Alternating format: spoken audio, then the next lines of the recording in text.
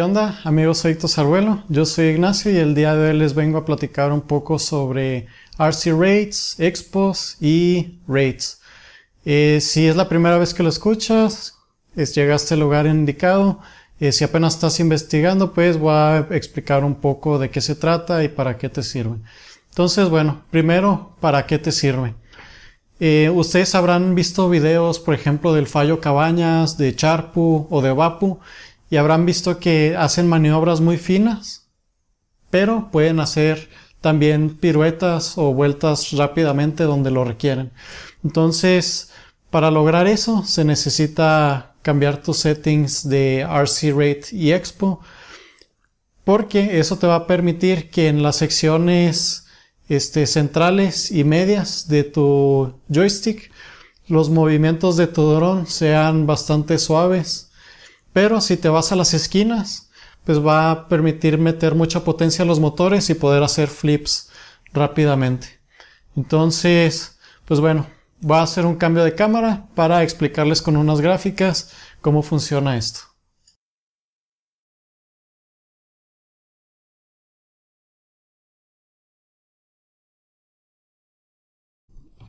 Muy bien, entonces pues vamos a, a comenzar con la gráfica.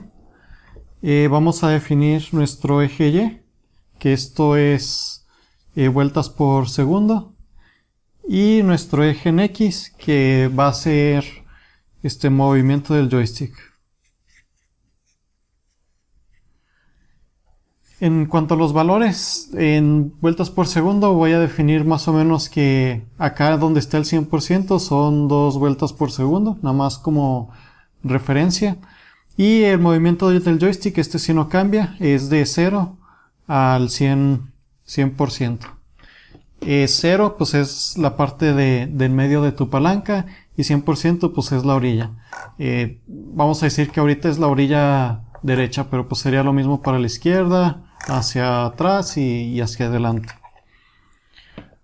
Entonces pues bueno, ya que tenemos esto, lo primero que les voy a enseñar pues es rate. Eh, es rate, no RC rate. RC rate es, es otra cosa que voy a explicar un poco más adelante. Están ligadas, pero pues aquí es el rate. El rate eh, prácticamente lo pueden encontrar en la página donde está el PID tuning. Y lo que te define es la velocidad de, de giro.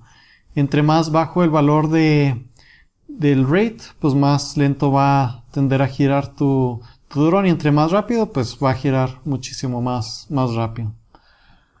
Entonces, pues bueno, en nuestra gráfica el rate va a definir prácticamente lo que es el, el 100%. De ahí nos vamos a cambiar al RC rate. El RC rate, eh, para explicarlo un poco, eh, voy a ponerlo como este punto rojo. Y en el RC rate se genera una línea de tu cero a este punto rojo. La voy a marcar como línea imaginaria porque este valor se modifica con tu expo. Entonces, como va a estar dibujando aquí, pues bueno, la definí como una línea imaginaria. Y para explicar un poco más fácil, voy a completar el cuadro, que normalmente en su controlador de vuelo, donde modifican esto, pues normalmente aparece la gráfica como un cuadro. Entonces nuestro RC rate normalmente aquí tiene un valor de, 1 y aquí pues tiene un ángulo de 45 grados. ¿Y pues qué significa todo esto? Bueno, eh, voy a marcar esto que es más o menos la mitad, 50% del movimiento del joystick. Y hacia acá, pues va a ser el 50% de nuestra velocidad, que va a ser, pues vamos a decir, una vuelta por, por segundo. Entonces, ¿qué significa? Que cuando tú tienes tu, tu joystick a la mitad del movimiento, pues vas a tener la mitad de velocidad de, de giro de tu, de tu dron. Entonces, pues bueno, eso es lo que hace, lo que define RC rate. Cuando tú lo empiezas a modificar, si te vas hacia abajo, vamos a decir que te vas a punto 5. pues va a ser la mitad y si te sigues acá, si lo incrementas, vamos a decir a punto 5 acá, pues vas a tener algo más extremo hacia arriba. Entonces, de nuevo, para explicar un poco, ¿qué significa? Cuando tú lo pones, lo empiezas a bajar, por ejemplo aquí, cuando tú tenías tu joystick al 50% y tu RC rate en 1, pues eso equivalía a una vuelta por segundo. Pero si tú lo bajas a, digamos, a punto .5, pues aquí vamos a tener la mitad. Entonces vas a tener .5 vueltas por, por segundo. En cambio, por ejemplo, acá arriba que me, que lo subí a 1.5 o algo similar, pues tengo dos vueltas por segundo. Entonces, eh, pues eso cambia cómo se comporta eh, tu joystick al, a cierto porcentaje. Y yo les recomiendo que lo dejen en 1 o un poquito más arriba, pero bueno, eso les voy a explicar un poco más adelante eh, cómo definirlo. Entonces, bueno, eso fue RC Rate. Y ahora, pues les voy a explicar Expo. Como comenté, puse una línea imaginaria eh, recta. Eh, si su Expo no lo han modificado, va a tender a ser recto. Sin embargo, cuando empiezan a cambiarlo, eh, por ejemplo a, punto 6, esto se empieza a hacer una curva. Si lo modifican hacia arriba, pues va a tender a ser una curva hacia el otro lado. Entonces, pues bueno, el expo entre más lo, lo incrementas, por ejemplo este es punto 6, pero si lo ponen en, en punto 85, pues va a tender a ser algo así. Y pues este es el valor más importante precisamente porque agrega estas curvas. ¿Por qué?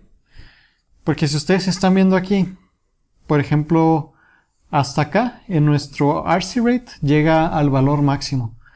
Sin embargo, con ese mismo RC rate, aquí tienes un 50% del movimiento. Entonces, esto significa que cuando tu joystick de nuevo está al 50%, tú vas a tener un 0.5 vueltas por segundo. Pero sin embargo te permite que cuando tú mueves hacia el extremo vas a tener toda la velocidad posible que es dos vueltas por segundo en este caso.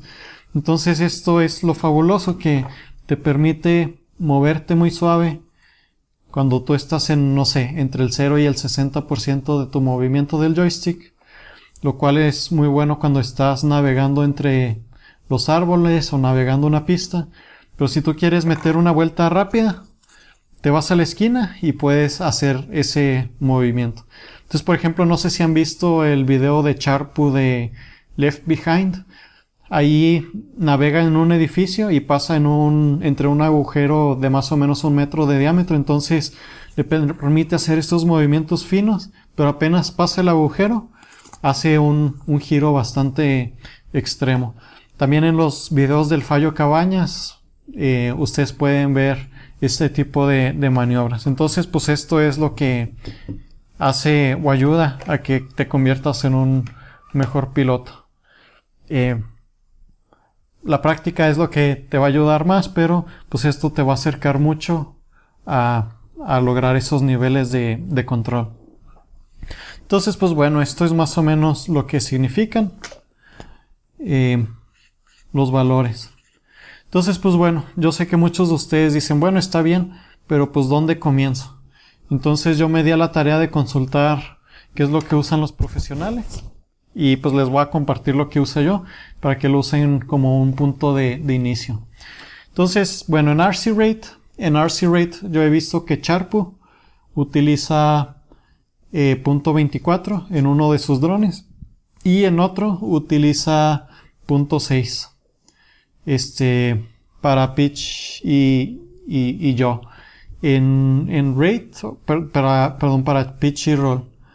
En yo, utiliza más o menos punto, punto 6.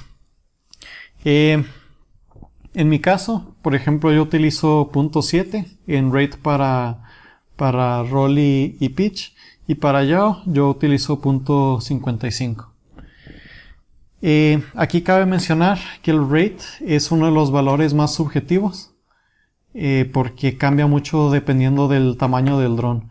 No es lo mismo si tienes un dron pequeño de 200 milímetros o 180 milímetros, así tienes un dron de 250 o 450. Eh, sin embargo, al rato les voy a explicar cómo definir este un poco más de manera experimental, pero pues aquí están los valores por si les ayuda a empezar. En el caso de RC Rate, eh, Sharp utiliza .05. En mi caso yo utilizo .02 más o menos. Eh, he visto que otras personas utilizan, por ejemplo, .8. Sin embargo, yo no les recomiendo que usen esto y, y la explicación es muy sencilla. Si se recuerdan en este cuadro, el rate va a definir tu velocidad máxima. Entonces, si tú empiezas a disminuir esto, pues lo único que estás haciendo es limitando el cuadro. Y ahora en vez de ser tu velocidad máxima de, de 2 vueltas por segundo, pues ahora va a ser, no sé, vamos a decir de punto 2 vueltas por segundo. Entonces al final del día este valor realmente lo puedes ajustar con tu, con tu rate y puedes dejar al RC rate en paz y dejarlo en 1 o por ejemplo, yo utilizo un valor positivo porque a veces tu control tiene ciertas tolerancias de fabricación. Entonces, cuando tú pones 1.02 o 1.05, eso te,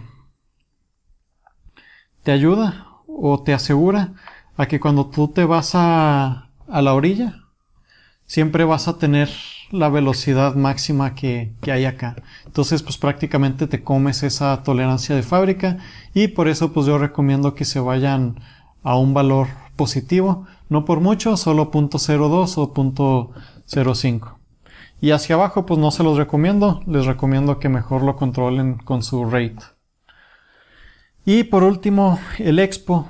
El expo que yo he visto que se utiliza más es entre 0.6 y punto 7. Eh, por ejemplo, Charpu utiliza punto 62. Y en mi caso, a mí se me acomodó con algo todavía más arriba, que es punto 8. Eh, Entonces, pues bueno, estos son los valores que, que les recomiendo eh, que empiecen. Y pues bueno, ya que vieron los valores que utilizan los profesionales y los que utilizo yo, la manera en que yo les recomiendo que lo definan es que primero comiencen con el rate.